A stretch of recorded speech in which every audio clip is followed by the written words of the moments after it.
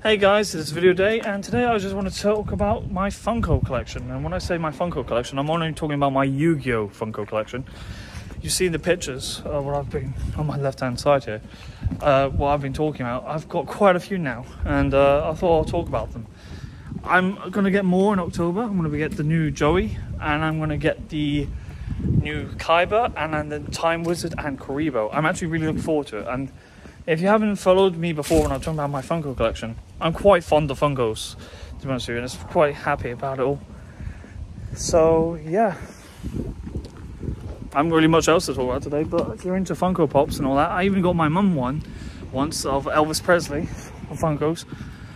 And I got my aunt the Top Cat, Tom Cat, Top Cat, Top Cat, sorry, Funko. So yeah, I've got many more Funkos, to be honest with you, really.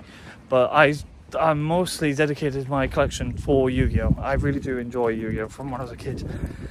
Now, before we branch off and listen to a stupid subject of Yu-Gi-Oh! saying I like all Yu-Gi-Oh! No, I don't. I like just the original and a bit of GX. The rest of it, not really.